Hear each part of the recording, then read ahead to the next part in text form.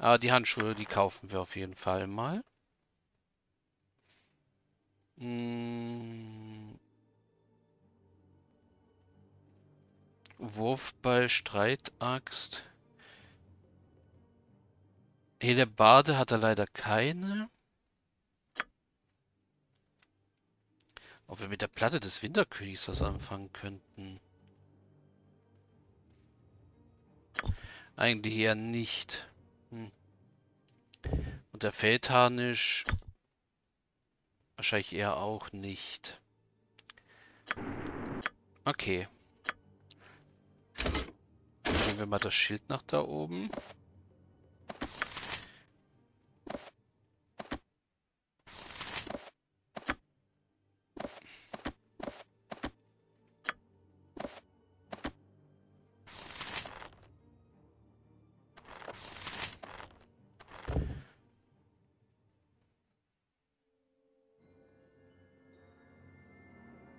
Träger kann die Hand Handschuhe der Tapferkeit inwohnenden Kräfte dreimal am Tag hervorrufen. Hm.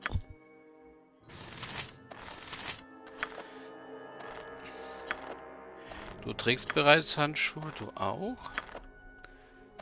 Naja, gut, geben wir sie mal mir. Also Benno hier.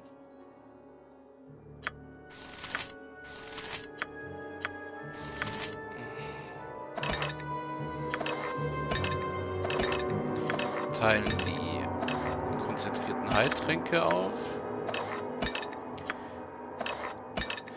Auch wenn wir bis jetzt immer durchgekommen sind, ohne welche zu brauchen.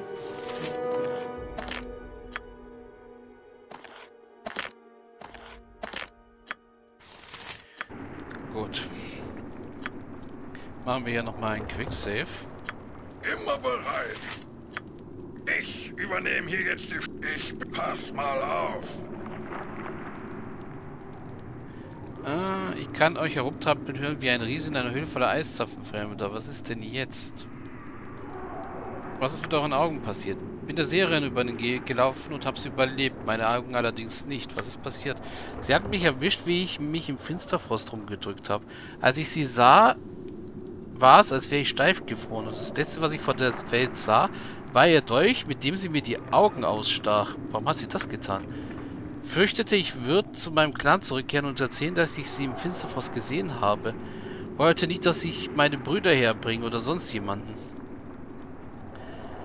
Äh, ja, wir werden dafür sorgen, dass sie für ihr Verbrechen bezahlt. Ja, nein. Was wolltet ihr im Finsterfrost? Das hatten wir auch gefragt schon. Ja.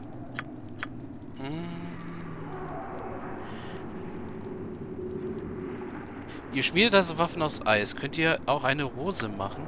Ja, vielleicht. Wozu braucht ihr so etwas? Ich kenne einen Mann, der sein Leben lang nach einer gesucht hat. Er, es hat ihn ruiniert. Vielleicht ist es noch nicht zu spät und er kann noch eine finden und damit auch sein Leben wiedergewinnen. Hm, wird schwierig werden. Ist eine Herausforderung und davor drücke ich mich nicht. Gebt mir mal einen, den kleinen Eisblock von der Bank und führt meine Hände mit euren Augen. Also gut. Hm, wusste nicht, dass ich sowas kann. Na bitte, wie sieht sie aus? Sie ist wunderschön. Als wäre sie aus Eis gewachsen, während ihr sie geschnitzt habt. Ja, ja, also darf sonst noch etwas sein. Gehört dieser verbeute Schild euch? Ich kann es nicht sehen. Lasst mich mal halten, hä?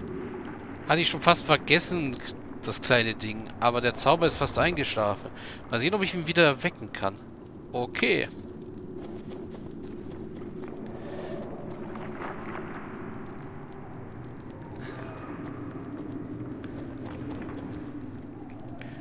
Ah, also Atmen ist so gleichmäßig wie Schnee. Sollte euch keine Probleme mehr machen. Fein, ich werde bald Gelegenheit haben, ihn auszuprobieren. Wartet, ihr habt noch eines meiner Stücke, das Schwert, das ihr tragt, das da... Das, das aussieht, als wäre es aus dem Dinneseersee gezogen worden. Woher habt ihr das? Ionens Klinge, die habe ich von einem Fischer in Osthafen. Ja, und das ist einer der Hauptgründe, warum ich, ähm meinen Spielstand importiert habe und nicht übers Hauptspiel ins Add-on gegangen bin, weil ich sonst die Klinge nicht hätte. Denn jetzt macht er mir daraus die stärkste Waffe im Spiel, soweit ich mich in Erinnerung, soweit ich es in Erinnerung habe. Sie war nicht für euch bestimmt. Ganz und gar nicht. Muss ein schöner Idiot gewesen sein, der sie euch gegeben habt. Ist ja total verstimmt. Singt? Habt ihr dieses Schwert gemacht? Vielleicht ja, vor langer Zeit, für einen armen Narren, der dachte, er wird ganz Ferun auf seinen Schultern tragen. Pa, das Gehäuse von dem verdammten Ring springt einem ja das Trommelfell. Gibt hier. Äh, na gut. Verdammtes Metall. Mich verfluchen, was? Ich zeig dir, wo es lang geht. Nicht meine Schuld, dass dein Meister ein dreimal verdammter Idiot war. Nicht meine Schuld, dass er gestorben ist. Halt still, du blöde Klinge. Tiernom, was macht ihr? Ruhe, nur einen Moment. Er streitet sich mit, mit dem Schwert. Ja, gut zu wissen.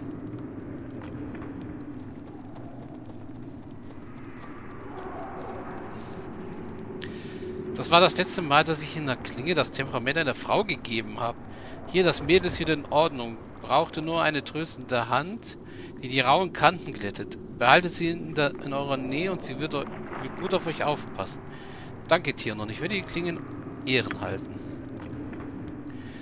Das fürchte ich ja gerade, Fremder. Das ist... Das hat, hat ihr letzter Besitzer auch getan. Geht jetzt lieber. Mein Kopf muss voller Stroh sein, dass ich hierher gekommen bin. Mhm. Äh, was macht ihr? Äh.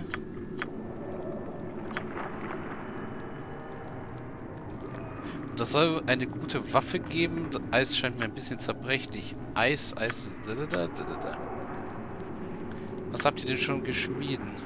Ach ja, so kann ich das machen. Es ist mein eisernes Schicksal, Fremder. Ohne meine Augen kann ich mein Werk nicht richtig sehen, also werke ich hier mit meinen beiden Händen und habe nichts zu verarbeiten. Ich kann eure Hände führen, wenn ihr wollt. Pa, ihr wisst ja nicht, was ihr sagt. Wenn ihr dabei wärt, würde auch ein Teil von euch in das gute Stück mit eingehen. Und das wäre erstmal was. Ich bin bereit, es zu riskieren, wenn ihr es auch seid. Möchtet ihr den Ruf lieber ignorieren und warten, bis ihr hinter der Zeit zurückbleibt? Ich bin bereit, es zu riskieren. Hm. Also, ach was, los fangen wir an, sonst reden wir hier noch, uns hier noch den Mund fusselig. Also gut, was sollen wir tun? Und hier kommt das Wichtigste. Meine Hände werden dem meist die Gestalt geben, die ihr euch in eurem Schädel ausmalt. Also schließt die Augen und hört auf das Eis um euch herum. Was seht ihr, wenn das schwarze Eis auf euch einspricht? Ein Hammer, ein gewaltiges Schwert, eine Klinge wie ein Eiszapfen. Äh ich sehe, wie das Eis seine schwarzen Finger langsam zu einer Faust streckt und jedes Wesen zerschmettert, das es berührt. Äh, eine kleinen, einen kleinen schwarzen Dolch, eine Eissäule, massiv wie eine Hellebarde. Sie scheint zu sprechen, so als würde sie versuchen, dem Finsterfrost seine Stimme zu verleihen. Ja, eure Augen sehen die wahre Gestalt des Finsterfrostes. Also verlieren wir keine Zeit. Holt mir die Werkzeuge vom Tisch und dann fangen wir an. Also wir machen jetzt eine neue Hellebarde für Hagrim, weil auch Hagrim ihm beim Schmieden hilft. Und ich hab's noch so in Erinnerung, dass es besser ist, wenn man das mit einem Zwerg macht. Deswegen habe ich Hagrim sicherheitshalber auch zum Anführer mal kurzzeitig gemacht, weil ich nicht wusste, ob das was ausmacht oder äh, ob es reicht, mit ihm zu reden. Aber sicher ist sicher. Deswegen und weil Hagrim halt auch mal eine neue Hellebarde gebrauchen kann. Weil Klingen brauchen wir jetzt nicht unbedingt. Also schmieden wir das Meisterwerk. Bei Moradims Atem ist es vollbracht. Und was für ein Meisterwerk. Ich bin stolz auf euch. Kannst von hier nach hier aus nach seinem Meister heulen hören. Nehmt's, mein Freund, es gehört jetzt euch. Äh, wollt ihr es denn nicht? Damit sie dieser gottverlassenen Gescher liegen kann, bei einem Zwerg, der zu alt ist, um es zu benutzen. Nee, nehmt es. Also gut. Verwendet es mit Umsicht, mein Freund. Ich werde mich jetzt hinlegen. Die Arbeit hat mich ziemlich angestrengt. Na schön, erhöht euch gut, Tier, Tiernon. So, dann können wir die es beiden wieder die beiden wieder tauschen. So, wir haben erstmal Ionens singende Klinge. Äh,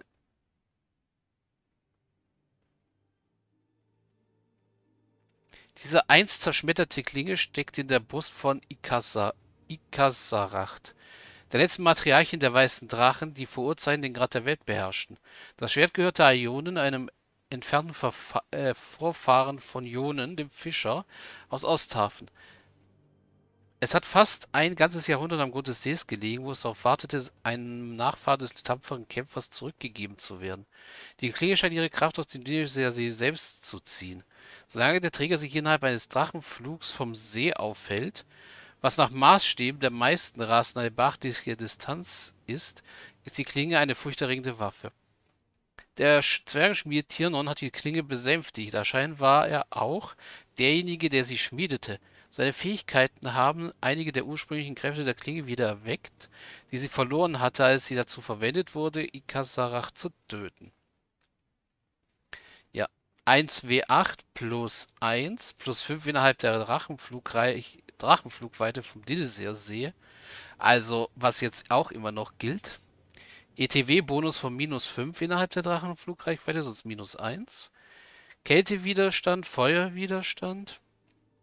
Dreimal täglich kritische Wunden heilen. Dreimal täglich Stärke. Plus 10 Lebenspunkte. Ja, und das ist deine Zweitklinge. Also da wir die 10 Lebenspunkte kriegen...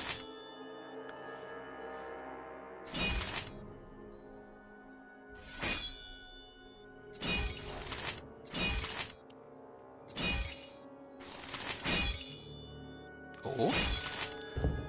Mit der Klinge kriegen wir... Achso, Rüstungsklasse-Bonus. Statt Blitz halt.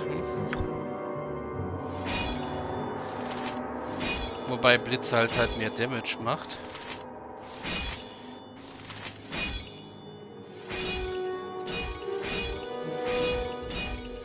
So, machen wir mal die Reihenfolge. Das ist der Spiegel. Die Eisrose die Hellebarde zum Identifizieren. Das ist ein Schild mit drei Rüstung. Resistenz gegen alle physischen Angriffe. Rüstungsklasse Bonus. Äh, einmal täglich, okay. Einmal täglich unerschöpfliches Durchhaltevermögen. Das ist die Frage, du bist ein kleiner Schild? Also du bist auf jeden Fall schlechter als der Schild. Und du wirst auch schlechter als der Schild. Also bist du eigentlich auch nur... Hm, eigentlich auch nur... Erinnerungsstück. So. Zunge des Finsterforstes. Diese Waffe haben eure eigenen Hände unter Anleitung des Zwergens Tirnon gefertigt. Diese Klinge ist aus Eis von den Wänden des Finsterfoss geschmiedet und vereint nur einen Teil des Gletschers sowie einen Teil eurer Kraft in sich, was sie zu einer gewaltigen Waffe macht. Obwohl die Waffe aus Eis besteht, fühlt sie sich nur leicht kalt an und schmilzt selbst dann nicht, wenn sie den heißen Flammen ausgesetzt ist. Ist eine plus 4er Waffe. Hat Schadensresistenz gegen Feuer, gegen Kälte, einmal täglich Sturmschutzhülle und eine dreiprozentige Wahrscheinlichkeit, Kältekegel auf das Ziel anzuwenden.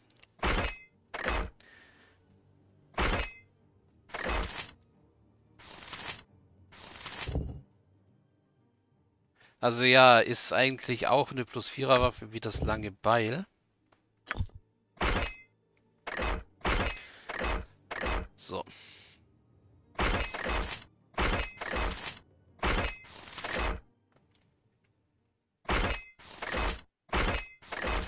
Aber durch die Spezialeffekte ist es besser. Und sieht cool aus.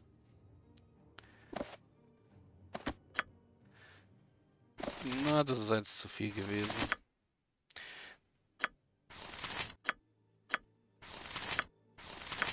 Ich weiß, ich hätte schwören können, dass ich mal was getragen habe, was mir Stärke bringt.